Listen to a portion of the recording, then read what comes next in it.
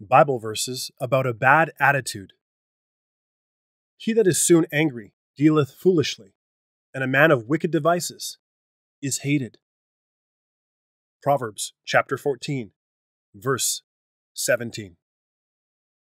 A wrathful man stirreth up strife, but he that is slow to anger appeaseth strife. Proverbs chapter 15, verse 18. He that is slow to anger is better than the mighty, and he that ruleth his spirit than he that taketh a city. Proverbs chapter 16, verse 32.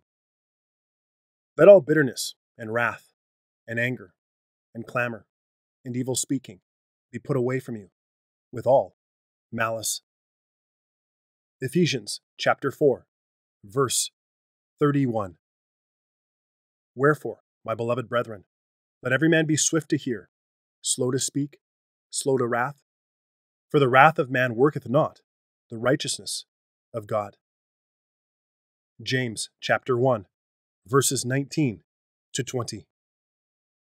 But now ye also put off all these anger, wrath, malice, blasphemy, filthy communication out of your mouth. Colossians chapter 3, verse 8.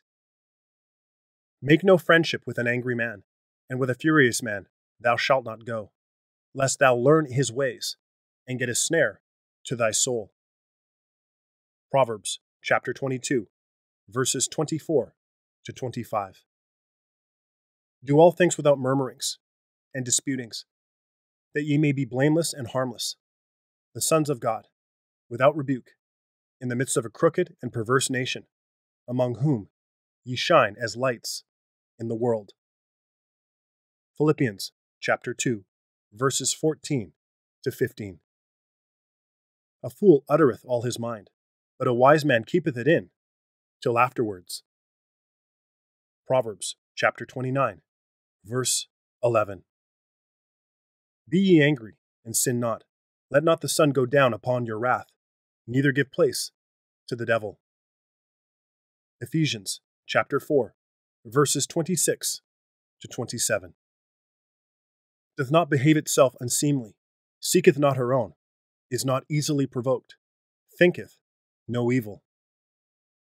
1 Corinthians chapter 13, verse 5. He that hath knowledge spareth his words, and a man of understanding is of an excellent spirit. Proverbs chapter 17, verse 27. But if ye have bitter envying and strife in your hearts, glory not, and lie not against the truth. This wisdom descendeth not from above, but is earthly, sensual, devilish.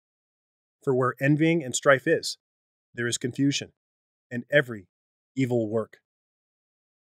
James chapter 3, verses 14 to 16.